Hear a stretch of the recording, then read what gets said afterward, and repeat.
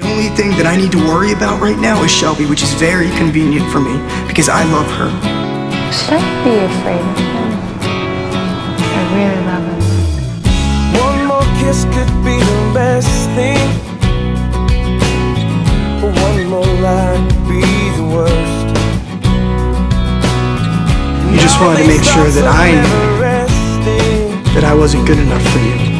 Miss Wyatt, my son is a screw. If you're honest with yourself, you'd agree. No, I don't. In my head, there's only you now. This world falls on me. In this you just say world, relationship? there's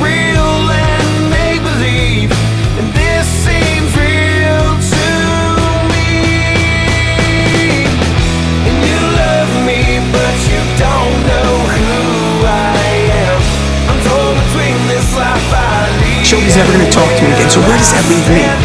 You love me, but you don't know who I am. So let me go. Just let He's still just a sad little boy.